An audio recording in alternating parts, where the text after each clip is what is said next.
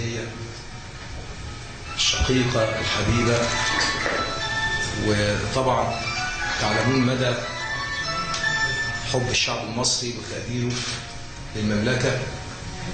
على الجانب الثاني أكيد إحنا سعداء بنيجي في مناسبة لتشريف أو تكريم نجم كبير كابتن فؤاد أنور ويمكن يعني برضه أكيد على المستوى الرياضي كحسام بدري أنا أعلم الاسم الكبير كابتن فؤاد أنور لكن كنت سعيد جدا حتى من كم المصريين اللي بيسألونا عن المباراة فما بتذكر اسم كابتن فؤاد أنور بيتكلموا حتى على الذكريات وبيتكلموا على تميزه كلاعب أفضل اللاعبين. وطبعا لابد إن إحنا نتوجه بالشكر لسيادة معالي الوزير ترك الشيخ رئيس الهيئة الرياضية ومساندته الكبيرة لينا وحبه للنادي الأهلي فأكيد طبعا دي برضه من المكاسب اللي إحنا يعني بنذكرها في الفترة الأخيرة وبنشعر بالافتخار لمساندته لينا وإن شاء الله بأكد إن إحنا جايين لمباراة تكريم هنا وكان نفسنا يبقى كمان في تكريم للكابتن فؤاد انور في مصر. يعني إحنا بنكرمه هنا ونفسنا نكرمه في مصر إن شاء الله. لكن بنعبر عن تقديرنا ليه ومشاركتنا في المباراة وان شاء الله بإذن الله. مباراة تليق باسمه ونجوميته وحجمه إن شاء الله.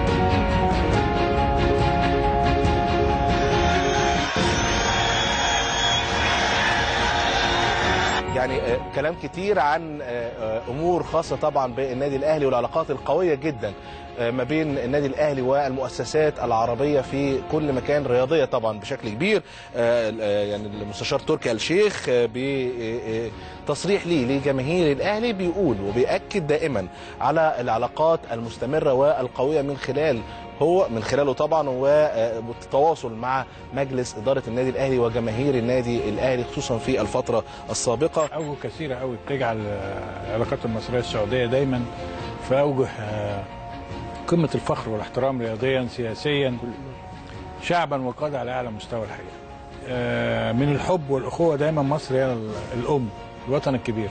المستشار تركي آل الشيخ ده رجل دولة. صحيح. فتلاقي فكره هو مستشار الملك في لا هو رجل دي. دولة. صحيح آه يعني صحيح. هو رجل دولة. فمش هتلاقي ال ال ال يعني لأن أنا شفت في الفترة الأخيرة شوية تخبطات كده من الناس. غيرة ما تقولش مش عارف إيه لكن توز أقدر أقول لك إن هي طبعا مش هيقدروا يعملوا أي حاجة.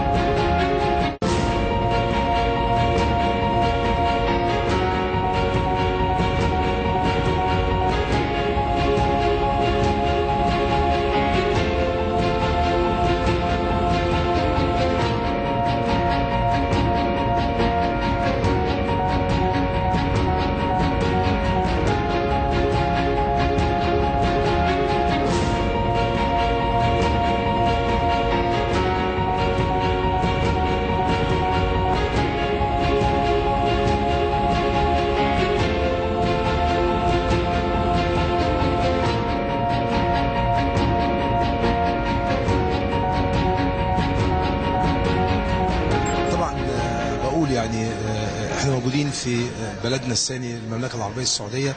آه، والكل يعلم يعني دون إيضاح مني طبعا آه، مدى تقديرنا وحبنا كمصريين للمملكة العربية السعودية آه، لاعتبارات كثيرة وأواصر تاريخية بتربط الشعبين مع بعض. لكن أنا أكيد سعيد النهارده آه، لوجودنا في المملكة العربية السعودية. وجودنا في حدث آه، مهم جدا. فؤاد أنور طبعا نجمنا النهارده والتكريم اللي اتعمل الجميل عشانه طبعا كابتن فؤاد أنور المونديالي كابتن المنتخب السعودي. كابتن فؤاد أنور مساء الخير عليك يا كابتن. مساء الخير. تحياتنا ليك ومبروك النهارده مبروك يوم رائع. كابتن عادل عبد الرحمن كابتن شريف عبد المنعم بيرحبوا بيك وبيبارك له بيباركوا طبعا لحضرتك النهارده اليوم الجميل ده. والله كلمة مبروك. المفروض اليوم تنقال للجم... للجمهور المصري. آه. الجمهور المصري اليوم يعني الكرنفال هذا أو الحفل تزين بالجمهور اللي في المدرج أنا أقول هنيئا للنادي الأهلي بجماهيره. سواء خارج آه، آه، مصر أو داخل مصر. كابتن النادي العريق هذا نادي القرن حقيقة أثبت اليوم أنه نادي كبير بجماهيره بتاريخه بجميع آه، ما يملكه حقيقة هذا النادي. وأشكر أيضا زميلي وصديق محمود الخطيب اللي كان متواجد اليوم. أشكر سعادة السفير المصري اللي شرفنا حقيقة اليوم في الحفل. حقيقة. أنا بدل لي أشجع الأهلي المصري من اليوم. انت ما كنتش كابتن خليني أقول لكم تصريح لكابتن محمود الخطيب بعد المباراة وبيتكلم فيها. إن هو فخور بجمهور الأهلي. طبعا كابتن محمود الخطيب رئيس مجلس إدارة النادي الأهلي بيتكلم إن هو فخور بجمهور الأهلي وال- والشكل اللي كان فيه استاد الأمير آه، فيصل بن فهد. وأيضا الكلام عن العلاقات القوية والممتدة ما بين الاشقاء المصريين والسعوديين في جزئية الرياضة. وطبعا بيخص طبعا آه، بتركي الشيخ طبعا رئيس آه، آه، هيئه الرياض آه، الرياضة في السعودية ودي حاجة مميزة جدا.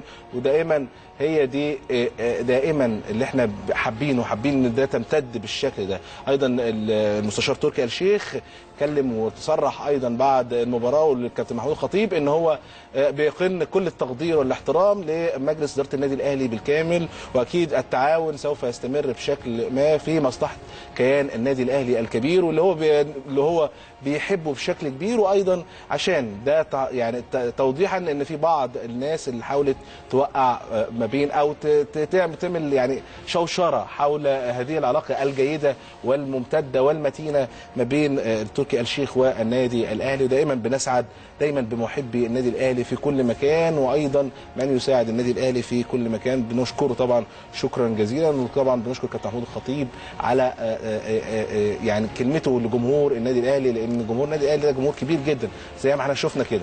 وجوده في السعودية وجوده في الإمارات هتلاقيه في الكويت هتلاقيه في في البحرين هتلاقيه في كل حتة في الوطن العربي بالشكل اللي أنتوا شايفينه ده. ودايما هو اللاعب رقم واحد زي ما إحنا بنتكلم كابتن محمود الخطيب وضح هذه الأمور قبل كده إن هو اللاعب رقم واحد بالنسبة للنادي الأهلي. كل التوفيق وكل الاحترام لفريقنا وجمهورنا إن شاء الله. أكيد يمكن النادي الأهلي كان بيلعب من شوية طبعا مباراته في السعودية أمام فريق الشباب في اعتزال الكابتن فؤاد أنور والنادي الأهلي كسب ب 1-0 يمكن كان في يمكن آه، تويتة حبينا إن إحنا نتكلم عليها ونعرضها تكون أول حاجة معانا في البرنامج عشان توضح بعض النقاط اللي طبعا كل الجمهور الأهلاوي كان مستنيها وأعتقد إن هي طبعا من آه، معالي المستشار تركي آل الشيخ وتظهر أمام حضراتكم على الشاشة. اتكلم فيها وقال طبعا للأحباء في إدارة النادي الأهلي وجماهيره العريقة تأكدت أن ما جرى خلال الأيام الماضية كان نتيجة محاولة من لا يريدون للنادي ولي لاستمرار العلاقة بعد أن شاهدوا حجم الفوائد التي تمت بتوفيق الله